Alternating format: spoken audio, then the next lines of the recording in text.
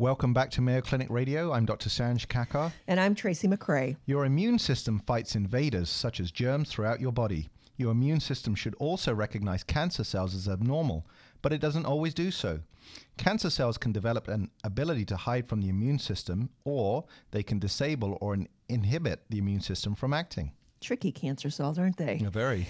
The goal of immunotherapy for cancer is to induce your immune system to recognize and kill those cancer cells. In the last few decades, immunotherapy has become an important part of treating some types of cancer, and promising clinical trials are underway to test these new therapies. Here to discuss immunotherapy is Mayo Clinic immunologist Dr. Keith Knutson. Welcome to the Knut. Welcome, Dr. Knutson, to the program. It's nice to meet you. Thank you very much. It's nice to be here. Who, who decided that you should come up from Florida in uh, January? What's that all about? Well, I originally was uh, stationed here in, in Rochester, and I still have family here. Ah. And so I come back every once in a while, even though it's cold. Sometimes in the winter. Yes. Gotcha. So, um, we have 170 stations all around the country, and so not everybody um, knows exactly what immunotherapy is. Can you please explain it for us? Well, the immune system is uh, quite complex, and and uh, but I think you can you know. Uh, really try to understand it in the sense of the vaccines that we use for the prevention of infectious diseases. So we all get a vaccine or, or, multiple vaccines at some point in our life, depending on where you're from, different kinds of vaccines that would protect us from exposure. And the reason that we do that is because it takes a long time for the immune system to develop what it needs to specifically attack something. So, for example, it takes on the order of anywhere from three weeks to four weeks to develop an immune response against the flu. For a lot of these organisms, they can they can act much more rapidly and that mm. cause illness. Mm-hmm. And when they do cause illness, that suppresses the immune system. So we need to act by giving vaccines. And that helps really recapitulate or and more or less create that first infection. And once you had that first infection, then you're protected from subsequent infections. So we essentially give the first infection with a vaccine, which t- tends to be a much attenuated form of whatever virus. What does that mean? Bacteria. Smaller version? Attenu- attenuated in the sense that it's not as pathologic. It doesn't. It's not as disease causing. Okay. So, but it's enough to stimulate the immune system, and then once the immune system is stimulated, it can provide protection for months, years, decades. So, Dr. Knutson, you you talked about the attenuated vaccines.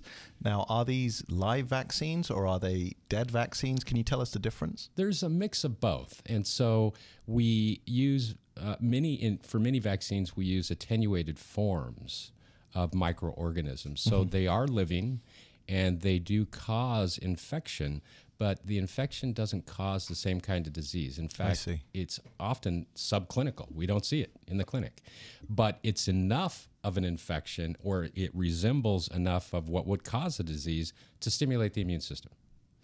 And th- there's also fragments or heat killed or killed in some other way microbes that can be used as, as vaccines as well, and they stimulate the immune system. So that works when it comes to mumps or chickenpox or fill in the blank. But why is it that cancer tricks the immune system? How does cancer get around that? Well, so think about it like this you have this very powerful system in your body that can kill microbes, prevent diseases, eradicate you know, all kinds of different uh, microorganisms that are in the v- environment. You need to have ways of protecting yourself from that immune system. So your body has developed or evolved over time ways of protecting itself from its own immune system. So typically, you don't have problems with your immune system attacking you. Some people do.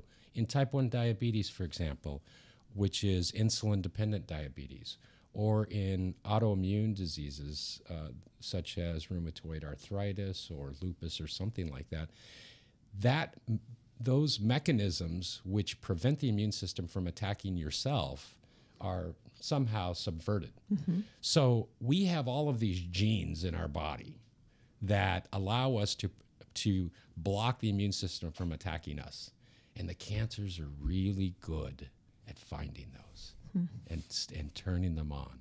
So then, what's the the difference for between vaccination and an immune therapy? Is immune therapy specifically guarded to treat cancers, and vaccination is to prevent infection? So Right. So that's been the traditional sense that we give a vaccine to prevent the development Sure. of a disease. So more recently, vaccines have now become useful in the therapeutic setting. So after one's gotten the disease. And it allows the body to recognize what we call antigens or parts of whatever the disease is. And we oftentimes use these vaccines in individuals along with something else that would help us block those suppressive mechanisms that I was telling you. Okay. Okay. So using vaccines in combination with something that kind of reverts reverses this ability of tumor cells or infections to block the immune system is very useful in the therapeutic setting for reducing the severity of disease. So, is immunotherapy the same thing as vaccine therapy? Like we've talked about using the measles vaccine against a tumor. Exactly. It, is that the same thing? It's so vaccine therapy is a subset of therapies that belong in this more global category immunotherapy. Immunotherapy. Okay. There's different types of immunotherapies. We've made tremendous progress over the last 3 decades at implementing many of these different kinds of immunotherapies and some of them are vaccines Mm-hmm. and some of them are other ways of stimulating the immune system that are different than vaccines. Does chemotherapy stimulate the immune system? Chemotherapy can stimulate the immune system in some ways. It depends on the chemotherapy. So, a lot of chemotherapies, as m- many people know, are very toxic. And the, the reason that they're toxic is they kill growing cells. Cancers are composed of a ball of growing cells. And so, a lot of chemotherapies rely on this growth in order to kill the, the cancer cells. Well, the the um, immune system can recognize dying cells. Okay, so in some ways, in with some chemotherapies, they have been useful in co- combination with immunotherapies by helping stimulate the immune system. But the problem is that chemotherapies kill dividing cells. And guess what? The immune system has to divide too. So oftentimes when you use chemotherapy, it blocks the immune system at the same time that it blocks the tumor growth. And so you don't get the benefit all the time of an activated immune response against your tumor when you use chemotherapy. Is there a way to make a new form of chemotherapy that wouldn't do that, or is then then it's not called chemotherapy anymore? That's right. I mean, you know, you could.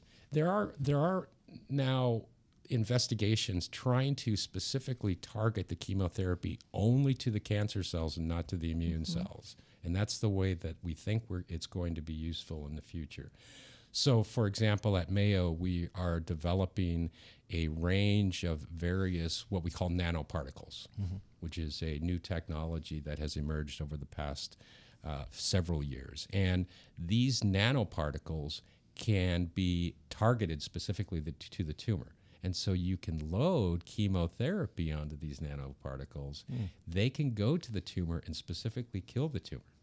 So that will decrease the side effects. Uh, And that would decrease the side effects. Okay. Because the side effects are typically due to the chemotherapy acting on some normal Sure. function in the body that you don't want to be inhibited. So when you're thinking about the use of immunotherapy, what sort of patients are you you targeting? We target all kinds of cancers with immunotherapy, and we target all clinical settings. And what I mean by that is there may be patients that have a tumor that's stubborn and won't go away, and so that would that would be uh, what we call the therapeutic setting. We also use vaccines in the prevention setting too. So a good many patients have early stage disease, so stage one, stage two cancers. And we can go in and we can successfully remove the bulk of the tumor. But it's likely that in many of these cases, a tumor cell or two has gotten out and has been floating around in the body. And maybe it's going to sit there for a couple of years before it decides to grow again. So we can use vaccines, for example, and other immune based therapies to prevent disease recurrence too by stimulating the immune system. And that's in much the same way that we would do for for an infectious disease vaccine mm-hmm. where we stimulate the immune system while the disease is not present. Okay. And then once it starts to come back, you have a ramped up immune system. And in fact, those are some of the studies that we're doing personally in, in my laboratory is uh, identifying vaccine approaches that can be given to patients after they're done with chemotherapy when they're healthy to stimulate their immune system because we know that having a, an appropriately functioning immune system that can target the tumor is helpful in preventing recurrence. Well, we're learning about immunotherapy from Mayo Clinic researcher and immunologist Dr. Keith Knutson. Are you all up to speed here, Dr. Kakar? Sure. Okay, I'm going to try. I'm going to take a little break and see if I can keep up with you guys. We're going to take a short break. When we come back, we're going to learn about current vaccine clinical trials for breast cancer and discuss exciting new research that includes ovarian cancer as well.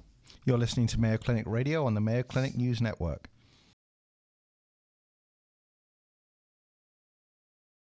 Uh, welcome back to Mayo Clinic Radio. I'm Dr. Sanj Kakar. And I'm Tracy McCray. We're talking about immunotherapy with Mayo Clinic immunologist Dr. Keith Knutson. It it is fascinating, and we need now to turn our attention to the research that you're doing and putting that research into action. So, tell me about some of the projects that you're involved in. Right. So this is a very exciting time for immunology and immunotherapy in general. It's made such an impact, and and uh, I've been at Mayo now for about ten years, and and they have uh, led the way in many in many respects with uh, the development of, of immunotherapy. And one of the things that we've been studying at uh, uh, in Rochester and in Jacksonville is the development of vaccines to prevent breast and ovarian cancer.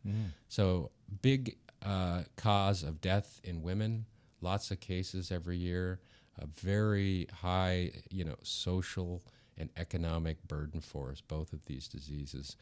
And we would like to prevent those diseases.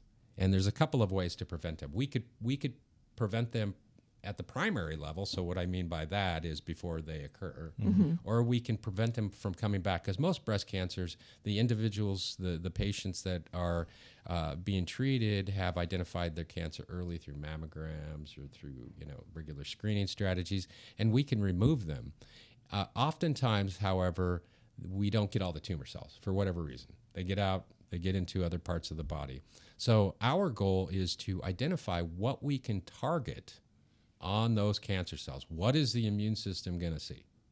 Once we identify that, then we can play, you know, some games with molecules and cells and everything and try to make a vaccine and, and give that back to the patient. So we're working hard by identifying those targets and moving those into the clinic. We have about three minutes left, so I want you to discuss the two um, two of the current uh, breast cancer clinical trials, starting with the triple negative breast Sure, cancer one. Sure. We have uh, a number of clinical trials and, and uh, that we've been fortunate to get up and running over the, the past uh, uh, 10 years or so. Uh, two current trials uh, are very interesting to us, and uh, we're right in the middle of these trials for breast cancer. The first one's in triple negative breast cancer. We've identified a target which we think is uh, appropriate for developing a vaccine to prevent tri- triple negative breast cancer. It causes um, triple negative breast cancer is diagnosed in about 20% of all breast cancer patients. It's a sub form of uh, uh, breast cancer, very aggressive. We're developing a vaccine. We've already conducted a phase one clinical trial uh, to determine if its safety, determine that if, if it's safe, and, and we found it to be safe and effective at stimulating the immune system. So we are now conducting a phase two clinical trial. That's the second phase. The question we want to address in the in the phase two clinical trial does does it do what we think should do? And What, that- what do you mean by triple negative? so triple negative breast cancer. So breast cancer, there's about 240,000 cases of breast cancer per year. About 20% of those have this unique molecular profile, so to speak. Okay. And they are classified as what we call triple negative in that they don't express this molecule HER2 which is associated with another form of breast cancer, and the estrogen and progesterone receptors, which are associated with uh, estrogen positive breast cancer, the, the leading uh, breast cancer. So, triple negative is an unmet need because we just don't have any therapies. It's 20% of the breast cancer patients. We've developed a vaccine that is going into phase two clinical trials. So the Mayo Clinic is arranging uh, women and men with triple negative breast cancer. It's mostly women, but men do get breast cancer as well to participate in the study. And about two thirds will get the vaccine. So it's a very well designed study in that most people get the vaccine. And then we're going to wait and see after five years. And we're going to look at, and we hope, of course, or else we wouldn't be doing Sure. it, that it's going to prevent recurrence. Recurrence is the leading cause of death in triple negative breast cancer. Okay. So if it recurs, that it usually recurs away from the breast in, in some other tissue. And once that happens, that's called metastatic disease. And everybody knows that metastatic disease is uh, fairly deadly, uniformly deadly. And so our clinical trial is in 290 patients. Two thirds of those will receive the vaccine. The second clinical trial is in another fraction of breast cancer patients called HER2 positive breast cancer patients. And that's an early trial. And that's where we're going to start to ask the question of can we prevent disease? So, individuals that have been diagnosed with a pre malignant condition, DCIS or ductal carcinoma in situ, which isn't quite cancer yet, Yes. will be given a vaccine. We know that they have a certain rate of developing. And so we're in the early phases of testing a vaccine to prevent the development of HER2/neu breast cancer if you've been diagnosed with a pre-malignant uh, precursor of breast cancer, so to speak. So that's in the safety testing phase right now, phase one. In the last 30 seconds, what is on the horizon in research? So there is so what's on the horizon? So we have these vaccines. We have a wide variety of other modalities that are used to stimulate the immune system. What happens if we come in with vaccines plus these other modalities to really amp up the immune system? That's the question we're going to ask. So maybe some of these patients that have resistant disease, bulky disease, disease that's causing them a lot of problems will have a chance by us maximizing the immune response against their cancers. It's exciting. Very. very. Thanks, Dr. Knutson, for Thank joining you. us. We've been uh, talking about immunotherapy research and clinical trials with Dr. Keith Knutson. He's an immunologist at Mayo Clinic.